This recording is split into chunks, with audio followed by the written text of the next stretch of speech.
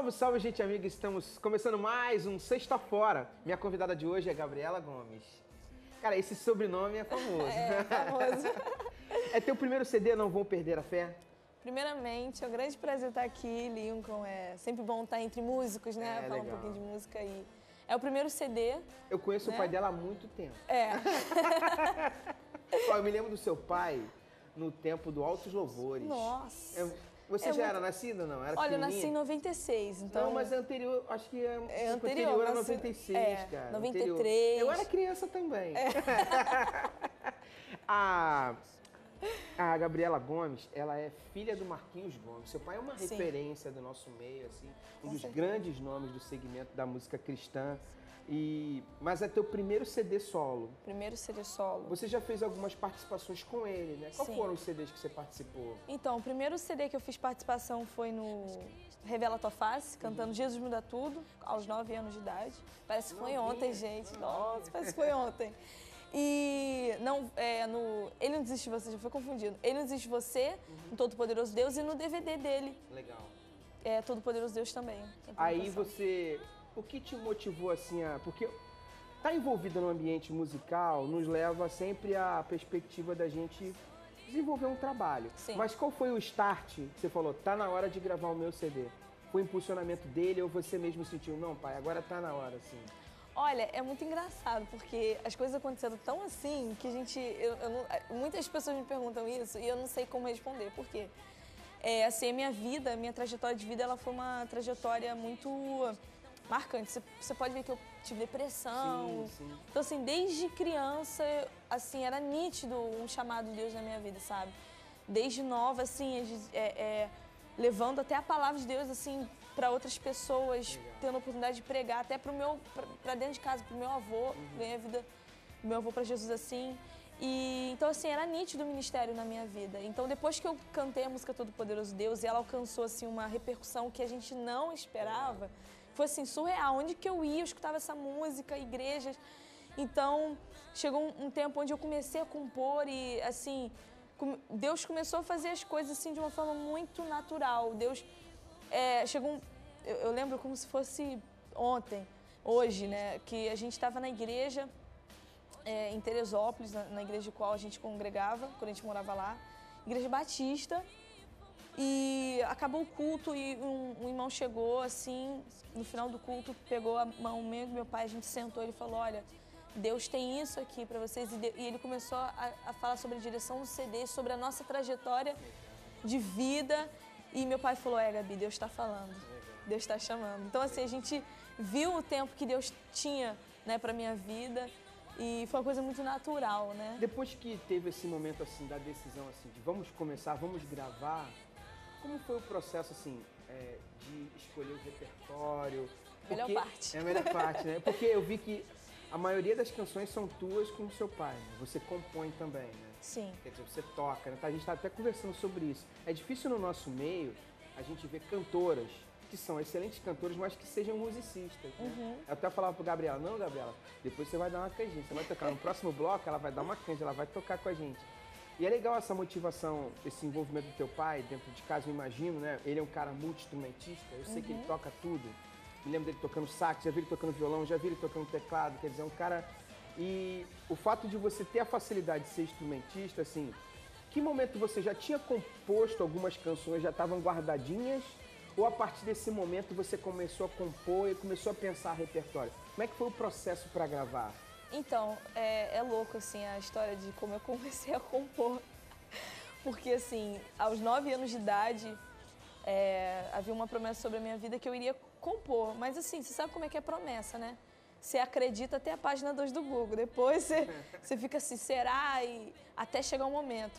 E aí, quando eu fiz uma certa idade, assim, 16 anos, eu passei por um momento muito difícil na minha vida, muito difícil. Inclusive essa, tra- essa, é, essa é, transição né, da depressão. E Deus me deu uma música no, no chuveiro. E aí dali. Essa você lembra como a primeira canção, assim? Uma das Olha, primeiras, assim? é. É porque eu, eu comecei a compor bem novinha. E depois Deus, assim, foi... Eu tava até falando com o Rafael agora há pouco.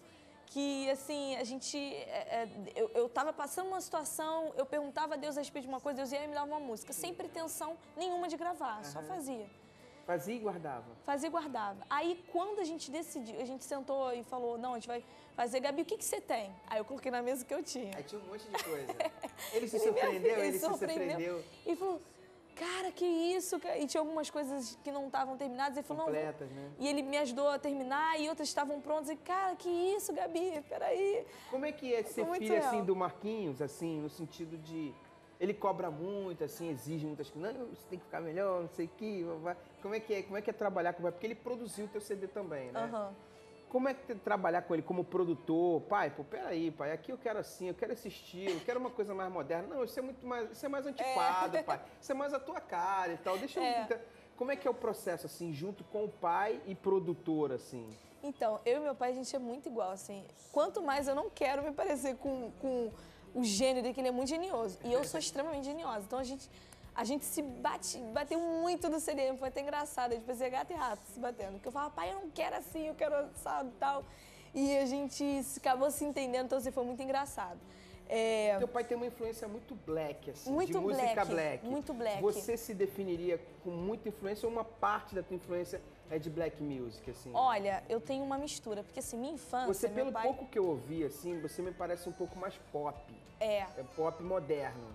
Teu pai é um pop, mas é um pop black. Tem É. sempre um groove, né? Tem sempre Isso. uma pegada, assim, uma Isso. influência bem, bem grooveira de música black. Isso. Você é um pouco mais pop, popzão, assim? Eu sou, eu sou um, um, um black, um black adoração, Aham, vamos dizer aham, assim. aham. É, Isra- Israel, Israel, é isso aí, minha onda é essa aí, entendeu? Então, assim, é, eu e ele, então assim, eu e ele, a gente ia juntando isso, a gente ia se batendo, mas ele, ele meu pai, assim, ao mesmo tempo que ele tem muita influência de lá de trás, ele tem muita coisa, a mente dele ele, eh, se renova, é uma coisa absurda. Ele consegue, assim, criar coisas sem ouvir nada, sem ter referência, ele consegue, assim, criar situações, então a gente se entendeu muito nisso também. E a minha infância, meu pai sentava e falava assim, escuta Whitney Houston. Senta, escuta Yolanda Adams. Senta, escuta Fred. Então, assim, a minha infância foi ouvindo tudo isso. Então, quando eu fui crescendo, apesar das. Hoje é tudo novo, hoje é, guitarra, hoje é pop. Você vê o louvor nas igrejas, é tudo É diferente. bem diferente. Só bem que aí misturou isso dentro de mim. diferente. Legal.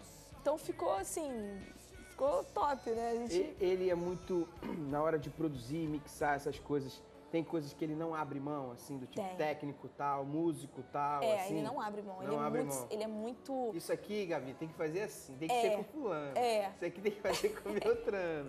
Eu Ele é que- muito assim. E é uma coisa que eu admiro muito nele, porque ele tem uma, uma qualidade, uma excelência naquilo que ele faz, que é absurda. Assim, eu, eu sento e falo, pai, deixa eu anotar e aprender com o senhor, porque eu tenho É legal muita isso, coisa né? para aprender. Então, assim, ele, ele tem músicos, por exemplo, a gente gravou lá em São com, com o Ted, Cleverson. Aham, aham. O Ted da galera do Atos 2. Atos que depois é o 2. Kadosh. é. Isso, Galera de groove animal, animal. Animal. Muito tempo. É o Ted e o Bal. São dois irmãos. Baixo e batera. é. Isso. É, é isso. E a gente gravou o Ted Cleverson e o pessoal, Paulo Zucchini, Paloma Posse, galera toda.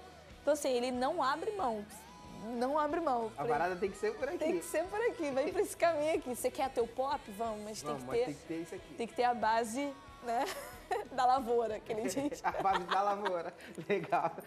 A gente vai pro break rapidinho, a gente volta no próximo bloco com essa menina feríssima, que é a Gabriela Gomes, filha do Marquinhos Gomes, mas que está com um trabalho solo excepcional que você precisa conferir. Eu volto já no próximo bloco.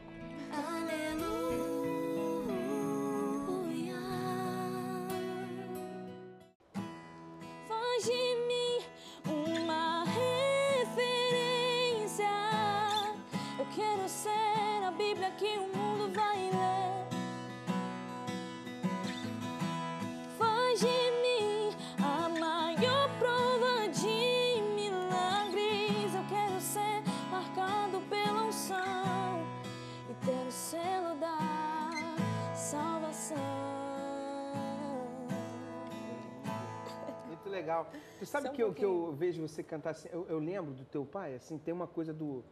Não é do timbre, mas é, Da, É. da onda do falsete, assim, melodicamente, assim, faz lembrar. Do, do veludado, É, né? Do muito veludado. legal. Assim, essa canção fala a Bíblia que o mundo vai ler. Tem uma Sim. Bíblia que o mundo precisa ler, né? Com certeza. Que é a gente, né? É. Porque assim, Hoje, eu costumo falar até nas minhas ministrações, hoje a gente está cheio de palavras, cheio de ideologia, cheio de coisa para falar sobre. E muitas vezes o mundo ele só precisa ver a, a, a identidade do Pai revelada na gente. Né? E a palavra de Deus diz isso, a palavra de às Deus. Vezes, às vezes assim, não precisa nem falar, né, Gabi? É só viver, né? Exatamente, é viver, é você chegar num lugar e você simplesmente ter viver a essência de Deus. Assim, eu tive experiências, Lincoln, que assim, absurdas, sabe, de, de viver a Bíblia que o mundo vai ler. Porque assim, o mais interessante da música que Deus te dá é você ser provado em cima daquilo que você Tá prega, cantando, do que aquilo que é. você canta. Aham. Então, assim, eu já tive experiências assim de eu estar andando na rua e tem uma menina assim pedindo esmola e o Espírito Santo fala, vai lá, fala com ela. E eu falo, Espírito Santo, mas como assim? Vou falar com a menina. E eu ir lá e falar com ela e perguntar o que ela precisa. E estava perto de um mercado, fui lá, fiz compra para ela. Eu orei com ela, aceitou Jesus ali. Então, assim, talvez, às vezes, a gente, às vezes, numa ministração, a gente, a gente sabe disso na igreja, às vezes é difícil, dependendo da igreja, você ganhar uma alma. Verdade. Aí você chega na rua, você, como assim, você andando na rua, você vem e, e, e, e tem a oportunidade de ser a Bíblia que o mundo vai ler para aquela pessoa. Eu estava sem Bíblia na mão, eu estava sem nada. Eu só estava com a minha vida, com aquilo que eu sou e com aquilo que Deus é em mim para aquela pessoa. Então, assim, essa é a principal mensagem né, dessa canção. Às vezes tem uma galera também querendo, assim, muito. Meio que impor o evangelho, né? É a força, e fica falando e tal. E tem uma, uma, uma, uma seara, assim, gigante à nossa volta, que se a gente, com a nossa vida, exalar o reino de Deus, a É. gente vai impactar muito mais do que aquela fala meio, meio de pressão, meio de agulhação com a vida dos outros, né? Com certeza. Às vezes a galera quer ir pra Índia, mas na vizinhança não, não reflete o Não reino reflete, de Deus, não né? reflete. Porque assim, eu acredito, Lincoln, que ah, o versículo ide e pregar o evangelho, na verdade, o, o, o verbo original é indo. É indo, verdade. Então, assim, Gerundo. é indo. Então, assim, eu estou aqui, eu estou levando, eu estou fazendo discípulos, eu estou ali, eu estou no banco, eu estou na minha faculdade, eu estou, sei lá, em qualquer outro lugar, eu estou A vida indo. cotidiana tá rolando, né? Eu tô levando o amor, o amor de Deus e, e- e fazendo discípulos assim, sabe? E, eu, a- e quando eu aprendi isso, Lincoln, eu aprendi que eu não preciso estar nos altos lugares ou nos lugares onde é, o todo mundo tá. Eu preciso apenas estar onde eu estou, sendo aquilo que Deus quer que eu seja. Porque aí Deus conduz a gente. Deus, ah não, filho, eu quero que amanhã você vá para Deus vai me levar. Mas hoje Deus quer que eu seja a Bíblia aqui. Entendeu? Então isso que é o mais importante. Legal perceber assim o teu conteúdo. Gabriela, onde, assim, quando alguém começa, assim, tem muita gente que está nos assistindo que queria gravar um CD, Sim. Se amarra no programa de música, me amarra no teu programa ali, pô, ouve o meu trabalho, Aham. eu queria gravar, eu queria uma oportunidade. O que, que é teu sonho, assim, aonde você quer chegar? Porque viver no ambiente musical, como é viver no ambiente da sua família, com seu pai, um grande músico, um grande nome do nosso meio, talvez você tenha visto os dois lados, assim. Sim. O lado que é do glamour, do sucesso e às vezes da dificuldade, Uhum. às vezes o lado da, da- das batalhas, das lutas, das frustrações. E aí, uma pessoa de uma nova geração optar pelaquela carreira é fruto de um chamado, da convicção de um chamado. Eu Sim. creio assim. Mas desse teu chamado, o que, que você tem como perspectiva de sonho? Eu quero chegar nesse lugar. Qual lugar que você quer chegar? Olha, Lincoln, é, assim, eu pude ver muita coisa é, desse meio. E se você quer gravar um CD, deixa eu te falar uma coisa, querida, já dou um recadinho. É, assim, busque a Deus, sabe? Busque a presença de Deus, porque Ele vai te direcionar o que você tem que fazer ou não. A minha perspectiva de vida, Lincoln, é, é meio louca, sabe? É, o meu sonho, Lincoln, é ser uma vivalista, sabe? O meu sonho é chegar num lugar e eu não precisar falar uma palavra e pessoas sendo atraídas a mim, eu preciso servir esse Jesus que você serve. Eu acho que esse é o meu sonho, porque assim,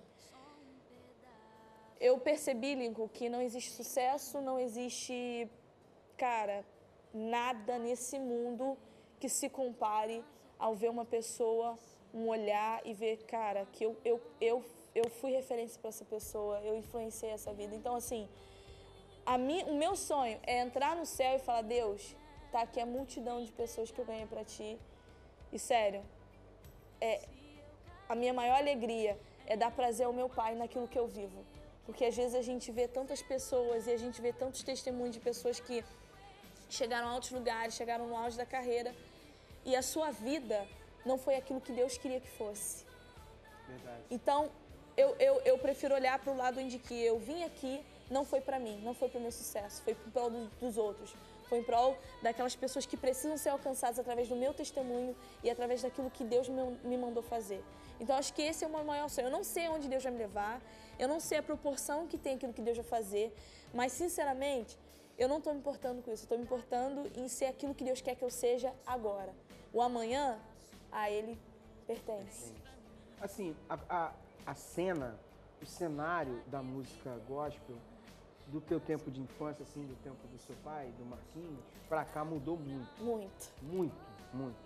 Mas mudou assim, é, mudou da água pro vinho, assim. Eu digo quantidade de pessoas, assim, o volume do que a gente representa. As oportunidades também, que hoje a internet- É, eu me lembro dele chegar assim, de Kombi, assim, todo mundo dentro da Kombi, É. do Altos Louvores, entendeu? E a coisa hoje mudou. Nesse cenário que a gente tem hoje, o que que você olha assim e fala assim, "É, eu tomo cuidado com isso? Eu tomo cuidado com a libertinagem. Eu tomo cuidado com aquela coisa do. Como é que a gente. Da rataria. Rataria. Rataria. Porque a rataria, quando você vê, você tá no O automático. que, você que é já rataria? Explica, o que, que é rataria? Rataria. a rataria, Lincoln, é quando eu já sei, eu, eu chego num lugar. Não, digo, não, não vou falar aqui sobre santidade, porque eu acho que isso é o, é o básico, é o, é o assim, não tem, é uma coisa que nem se fala, é uma coisa que tem que ser, né? Mas eu falo a rataria, Lincoln, quando eu, eu já vou numa igreja, eu chego numa igreja já no automático. Tipo assim, ah não, já sei o que eu vou fazer, a música eu cantar, já sei como chamar o povo, já sei como fazer o povo cantar, o povo chorar, o povo. Então assim, eu prefiro, eu, eu tenho muito cuidado com isso. E eu procuro sempre, sempre, sempre, sempre ser dependente de Deus. Senhor, o que, que o Senhor tem para hoje? Estou disponível sabe? Então é uma das coisas que eu tenho muito cuidado, fora outras coisas, assim, alianças, é, caminhos, portas, nem tudo aquilo que está escancarado é aquilo que Deus quer para você, né? Tem, tem portas que às vezes você acha que é boa, aparentemente, mas não, às vezes não é aquilo que Deus tem. Então, assim, eu tenho muito cuidado com alianças, portas e principalmente essa coisa da rataria, né? Cara, eu ficava aqui um tempão conversando contigo. Você é uma menina surpreendente. Deus te abençoe muito. Amém. Mas foi um prazer estar contigo, Gabriela. Poxa, o prazer foi todo meu. Espero que a galera fique ligada na tua sonzeira, que essa menina é fera. Com certeza. que isso. A gente volta pro estúdio com mais musicalidade dessa menina feríssima, Gabriela Gomes. E por hoje é só. Super valeu. Deus tchau, abençoe. tchau. Legal, obrigado pela sua companhia. Espero que você tenha gostado. Um beijo, um super beijo aí a Gabriela Gomes, que trouxe para nós toda uma, uma referência, né? Tem um legado sobre a vida dela e é uma menina de um conteúdo, uma jovem, né? Muito legal. Eu gostei bastante. Espero que você tenha gostado. Escreva pra gente, olha, Link, eu queria ver de novo essa entrevista. E fique ligado na nossa programação. Todas as nossas entrevistas estão no conteúdo do canal da Boas Novas no YouTube, do qual você pode rever essa entrevista e ver o detalhamento de todo esse papo tão bacana. Muito obrigado pela sua companhia, Deus te abençoe muito. Saiba sempre que Deus é bom e a sua misericórdia, ó, dura para sempre. A gente fica com mais um pouquinho da Gabriela Gomes. E uma coisa que me marcou nesse bate-papo é quando ela faz referência, já que as coisas aconteceram de uma maneira muito natural. Às vezes a gente vê no nosso meio algumas coisas meio forçação de barra. Ah, mas é de Deus, não sei o quê, bababá. Mas você olha assim com discernimento espiritual, você percebe que há uma forçação de barra. Às vezes as pessoas querem cantar, às vezes as pessoas querem estar em lugares muito especiais. E Deus, assim, tem um projeto de vida pra gente que é um pouco diferente daquilo que está havendo uma forçação de barra. É muito notório na carreira no ministério da Gabriela um exemplo de que as coisas foram acontecendo de uma forma natural e de que há uma alegria, uma felicidade no desempenho do lugar onde ela está, desempenhando aquilo que Deus colocou. É muito bacana quando você pede isso ao Senhor: Senhor, me coloque no lugar que é o centro da tua vontade para que eu desfrute de verdadeira alegria naquilo que eu faço. Fica ligado. Deus te abençoe muito. A gente fica com mais um pouquinho da musicalidade dessa menina feríssima, Gabriela Gomes, que conversamos hoje. Deus te abençoe muito. Super valeu e tchau, tchau.